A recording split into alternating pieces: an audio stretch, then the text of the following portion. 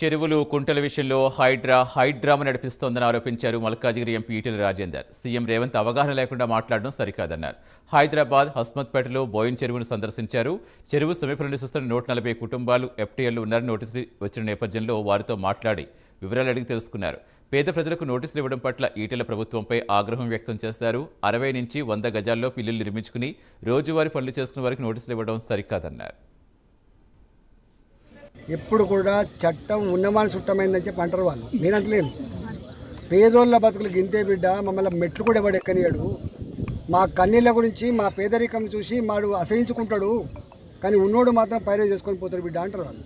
అందుకనే చట్టం ఉన్నవాని చుట్టం కావద్దని మేము అంటున్నాం. అంటే మీ మాటకు అర్థం ఏంటంటే బౌల అంతస్తులు బఫర్ జోన్లో కట్టుకున్న వాళ్ళు పైరవీలు చేసుకుంటున్నారు. వీళ్ళు పేదవాళ్ళు కాబట్టి చేసుకోలేకపోతున్నారు అనేది అంటారు పైరవి చేసుకున్నాడు కూడా నువ్వు కూల కొట్టరాదు వాడద్దు అంటాడు నీకు దమ్ముంటే కూల కొట్టి పైరవి చేసుకున్నాడు.